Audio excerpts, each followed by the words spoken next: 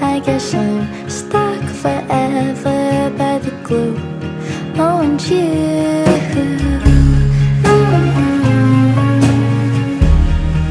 mm-hmm.